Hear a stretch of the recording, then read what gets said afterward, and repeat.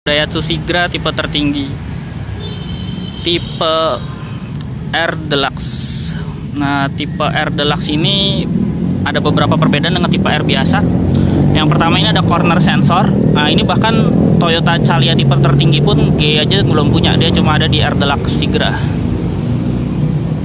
dan karena ini tipe R tertinggi dia sudah chrome grillnya sudah chrome ini emblem Sigranya huruf S untuk memenuhi persyaratan LCGC yang emblem harus mengandung unsur lokal.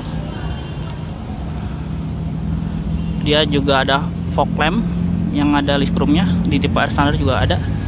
Dan ini uniknya Sigra ada tonjolan di bagian headlampnya kalau saya pribadi sebenarnya desain moncong lebih suka Sigra lebih bagus lebih sangar dibanding Calia. Kita lihat ke ruang mesin tipe R ini 1200 cc 4 silinder dual VVTi kalau kita lihat di ruang mesin ya standar pada kelasnya dia emang belum dicat masih warna dasar. Tapi karena ini varian otomatis dia sudah lengkap dengan ABS jadi di Sigra ini ABS hanya tersedia pada varian otomatis. Untuk varian X juga udah ABS untuk varian otomatisnya. Nah ini dia sudah komplit engine hood dengan peredam walau belum dicat warna body. Pelek untuk tipe R dia sudah alloy 14 inci dengan finishing two tone polish bentuk kipas. Bannya Bristol. Bristol Ecopia dengan profil ban 175 65 R14 sebenarnya tipe X Deluxe juga udah pelek alloy ya tapi dia motifnya beda kayak lebih terkesan aftermarket untuk X Deluxe. Tapi dia R punya punya kelebihan dia spionnya sudah elektrik di sini juga sudah menyatu sandi spion. Dan karena ini air deluxe dia ada list chrome di tepian jendela. Dan list chrome lagi di bagian bawah. Ini varian deluxe. Kalau tipe air standar dia belum ada ornamen chrome di jendela dan di bawah. Walaupun di list fog lamp udah ada di tipe air biasa. Kita lihat ke dalam ini sudah immobilizer jadi mulai varian tipe M sudah immobilizer. Dia kuncinya menyatu dengan remote di sini ada tombol lock dan unlock. Di door trim kita lihat nih finishing warna silver four door power window auto hanya pada sisi driver. Dengan tombol window lock walaupun belum ada tombol central lock jadi central lock masih dari sini. Nah karena ini tipe tertinggi dia ornamennya sini sudah chrome. Di ring di AC juga sudah chrome jadi ada beberapa perintilan kecil yang cuma ada di tipe tertinggi. Di door trim juga ada cup holder dua speaker. Sini sudah electric mirror cuma di tipe R nah ini tadi untuk mengaktifkan corner sensornya. Untuk speedo juga dia sudah lengkap dengan MID dan tachometer mulai tipe M. Ini di sini kita lihat di kanan. Di sini ada sisa bensin yang tersisa untuk 9 km lagi.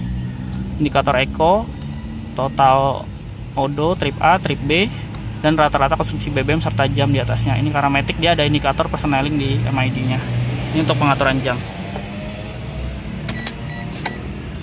Untuk airbag sudah dual SRS airbag. Di sini juga. Dan ini karena ini tipe R tipe tertinggi dia audionya sudah bluetooth double din jadi udah USB aux dan ada bluetoothnya ini ada tombol hazard.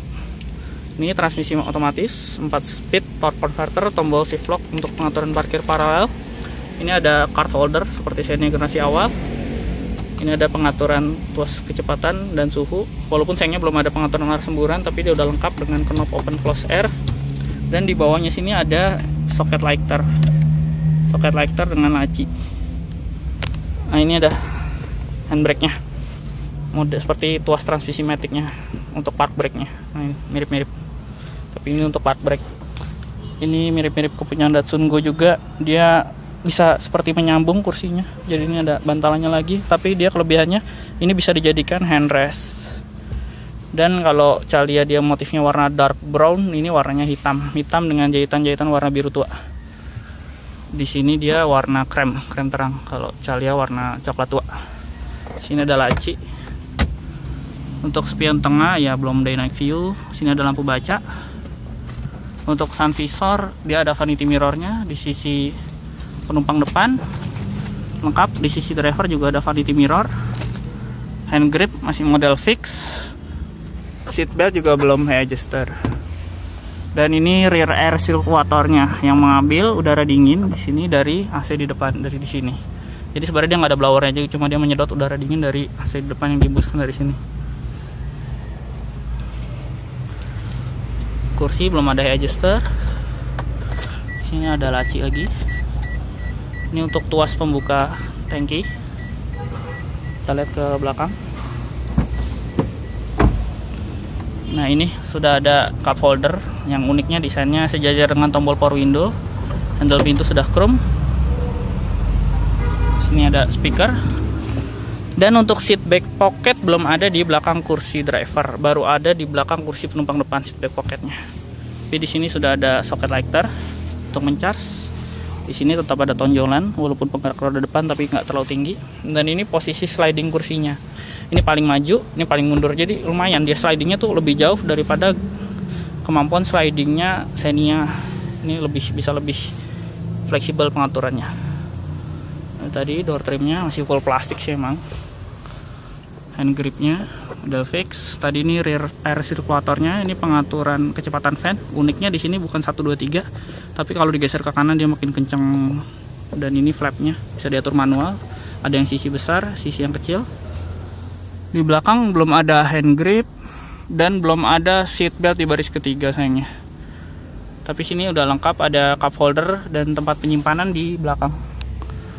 Walaupun dia belum ada handrest headrest di sini seperti Calia tipe G udah ada headrest. Tapi bisa dilipat 40 60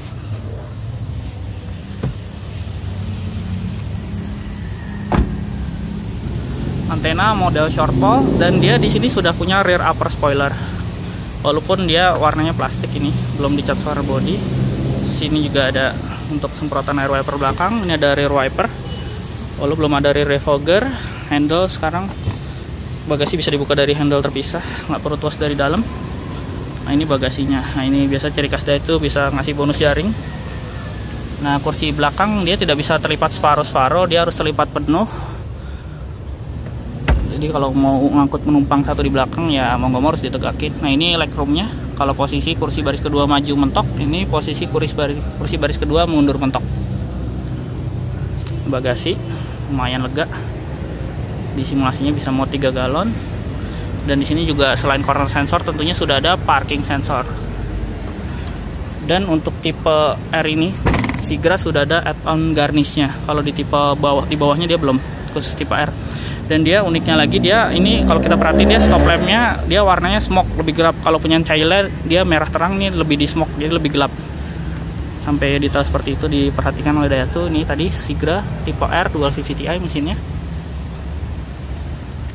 ini kalau dari stop dia lebih sangar karena di smoke lebih gelap. Kalau diperhatiin Calia lebih terang. Di sini ada untuk aerodinamika ada tonjolan.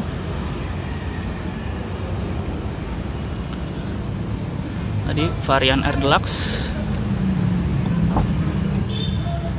Ini interiornya berwarna krem terang dengan jok warna hitam dan motif jahitan warna biru tua